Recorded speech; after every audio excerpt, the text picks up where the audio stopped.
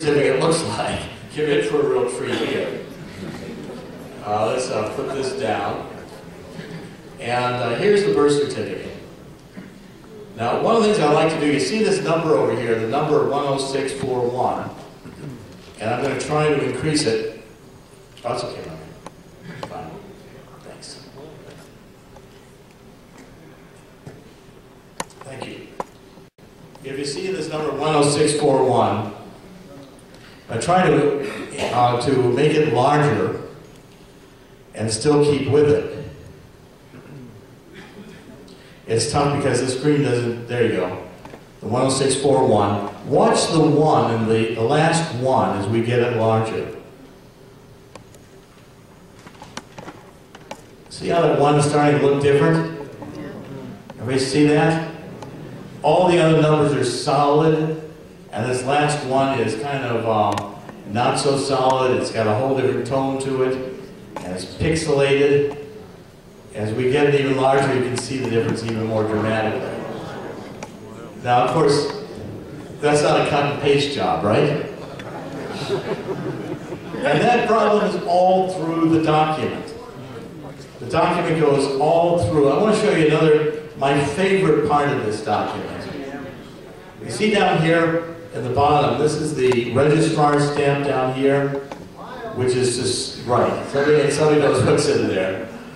And as we magnify it a little bit and try to get you to see it, you see the the record, the TXE, the THE.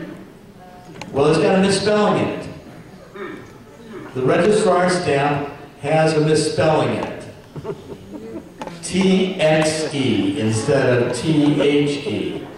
That's a rubber stamp that is an official stamp that's used over and over and over again. If any of you have had a rubber stamp and you use all these, does, would you use it if it had a misspelling in it? Say, throw that thing away. I want another one. And then if you look really closely at the A of Alvin's name, what do you see in the A? Smiley face. See it? Well, this is Alvin Onaka. This guy is a PhD. He doesn't talk to anybody. The guy has no sense of humor. He doesn't put smiley faces in the A of his rubber stamp. Look at that. Next time I, have more you, look at that. I mean, you know, of course, I love to issue, all, all my public statement documents have little smiley faces hidden in them too. So where's Waldo?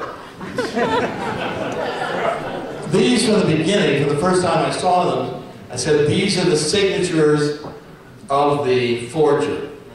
Because forgers put little signatures in their documents. You know, forgers love to have their Van Gogh hanging in the Louvre. And they come in on a Saturday and, with a friend and say, that's not Van Gogh, here's my little signature. Uh-huh. It's my Van Gogh, I'm the forger.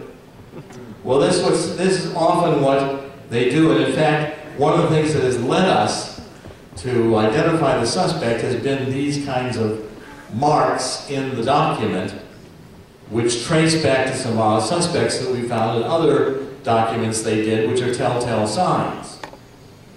Now, if we take the birth certificate, this is another uh, form of the birth certificate. This is where you see the layers.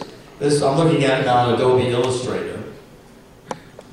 And um, it has all these layers to it, which is unusual. Now, yes, you can get layers in a document, but not with the logical grouping these layers have. For instance, we can make the green background just go away. It was the last thing put in that document. The security paper. This was supposed to be a scan of a paper document. Scan of a paper document doesn't behave this way. It's got one layer to it It doesn't start moving apart in its pieces unless it's manipulated. And then it's got some really, you know, completely ridiculous parts. This is the date stamp. You the official stamp that says this document is a real document. What Well, you can just move it around, flip it up, put it anywhere you want to put it. Here's here is Onaka's signature stamp. And again, you can do basically the same thing with it, We can move it around, we can put it anywhere we want to put it. We can rotate it. Sometimes fun to rotate his, if I can find the rotating tool here. Oh yes, I, I like to rotate the Nagas.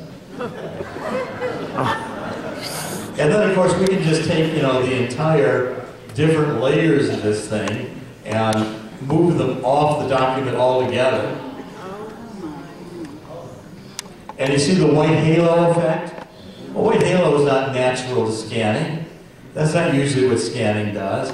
By the time you get finished with this document, you can have it resembling, have no resemblance whatsoever to the original document. This little thing down here with this, this one turns out to have little white dots in it that were uh, an artifact of cleaning up the document. They have a box with nothing in it. There's two boxes on this document with nothing in it. But there are things in it. What's in it really is the um, are these little dots that were cleared up later. And as you take away and eliminate everything in this document, I want you to notice that up here in the number, the only thing that remains is the one. You see that? There's your famous one. Now again, these are all the indications. What Sheriff Arpaio has done, we've listened to maybe 20 of the best experts in the world on these documents, and the experts have all agreed this document is a forgery. There's no way this document, in fact, is going to have been authentic. Now, as we proceeded to examine this, the next document that came into question was the selective service card. You all remember draft cards when you had to go to the post office and to register your and the draft, and they took a stamp and they stamped it with the date. Okay, here's Obama's. If you take a look, his date stamp is 8-0.